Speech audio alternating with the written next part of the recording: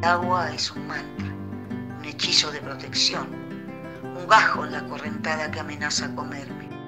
Pongo el agua y te voy a abrazar si hace falta, o, o a enojarme con tu enojo, o a quedarme callada, callada al lado tuyo.